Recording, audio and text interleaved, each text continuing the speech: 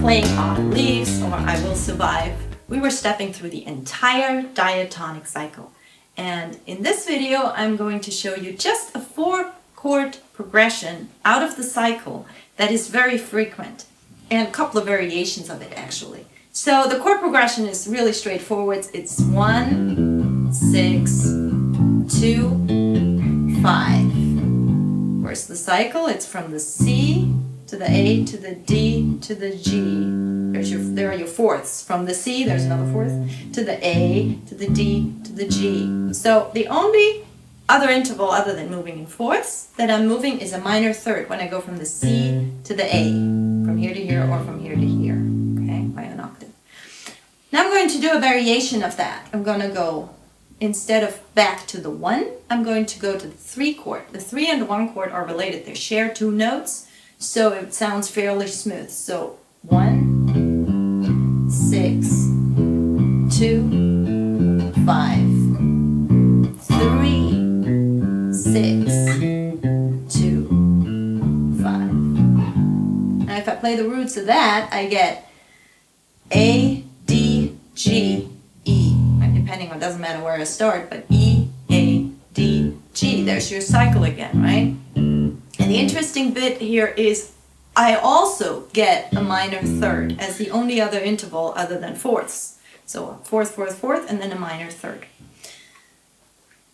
We can also turn around the order. Instead of going A, D, G, E, we can start with an ascending fifth from the A to the E and then the G to the D. A lot of songs do that as well.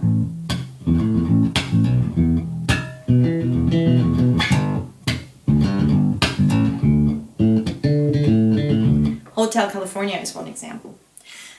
Let's fly in the band and have a little bit of fun with the chord progression of 2, 5, 3, 6. So what I showed you before was 3, 6, 2, 5. I'm just going to start it on the 2, something that happens a lot in songs. And let's do it in a different key. How about we do it in the key of E flat? So the chord, um, the chord progression, you have it in your handouts, but it's F minor, into the B flat 7, and then G minor and C. Okay, and C minor 7, sorry. So here we go.